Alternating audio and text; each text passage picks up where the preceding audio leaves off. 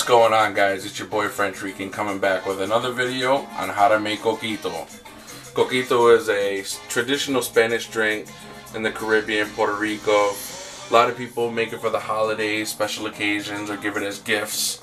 Uh, it was originated in the Caribbean, in Puerto Rico, in the sugarcane fields with coconut milk. After the U.S. came to Puerto Rico, they switched it up a little bit, taking their play on eggnog and using their own ingredients to turn it into what today is now known as coquito. Uh, what you're going to need is... Alright, so this is what you're going to be needing. We're going to need 3 inch cinnamon sticks, one container, 2 cans of condensed sweetened milk, 2 cans of evaporated milk, fat free or regular is your choice, some coconut milk, and some coconut cream.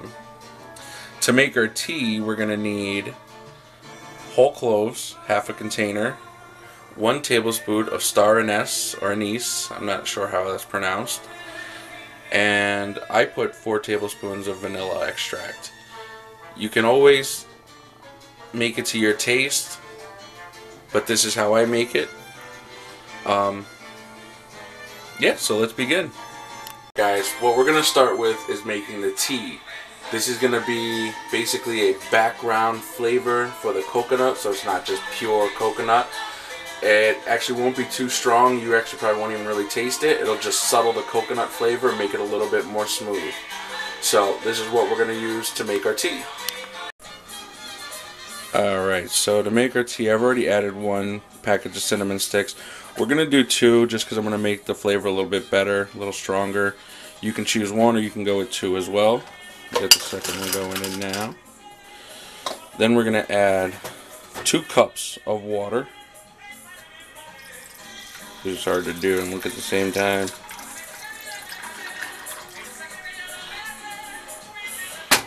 After our water's in, we're going to take our whole cloves, add those in there. Then we're going to take our one tablespoon of star anise or anise, and we're going to add that in there. Now the anise is a black licorice flavor, so if you're not a big fan of licorice, black licorice, don't add a lot. I'm only adding a little bit just to add a very subtle taste. So we are going to set this on high. And we're going to let that boil. When it comes to a rolling boil, you turn it down to medium and let it simmer for 5-10 minutes. You want to extract all the flavors and blend them. So, when uh, we get to boiling, we'll be back. Alright guys, we're back. We've brought it up to rolling boil. We've turned our heat down to a medium heat. And we are going to let it simmer for another 10 minutes or so until we get a nice rich color out of that. And when that's finished in about 10 minutes, we'll be back to continue. Alright guys, now that our tea has finished simmering, we have reached a nice dark color that we wanted, if we can get it in there. Check that out. It's nice. So now what we're going to do is we're going to take the juice out of this with a strainer and a measuring cup. Easy peasy.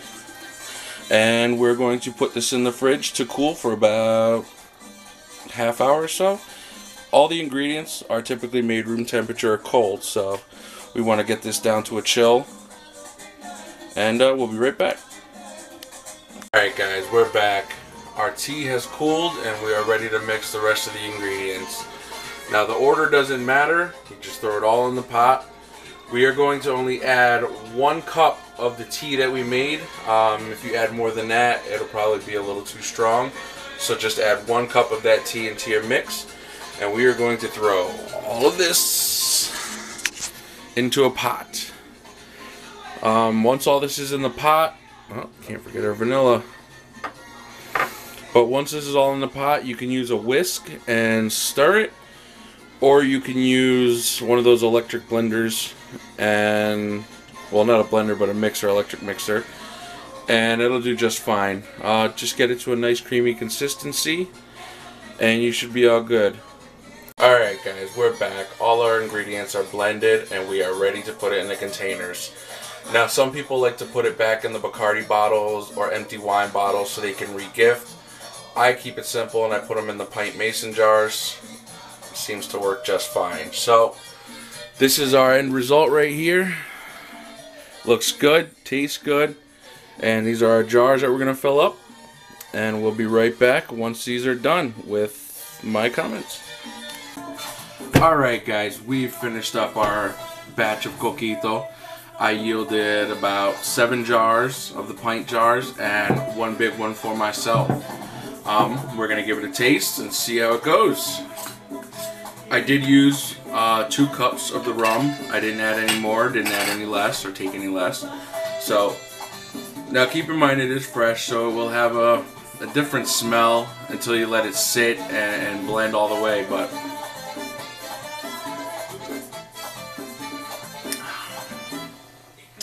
that's damn good. I am very happy with that. Uh, some people like to throw some nutmeg in there, you can. I didn't do that yet. I do that when I'm about to drink them.